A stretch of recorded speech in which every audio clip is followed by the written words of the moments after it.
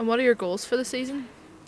Yeah, um, I think last season um, probably are capable of a bit more than what we did show. You know, there's a couple of games where we maybe lost out in small margins.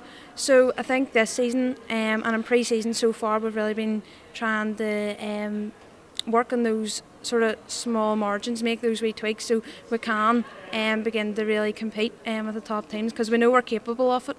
Um, so this season we just want to show it.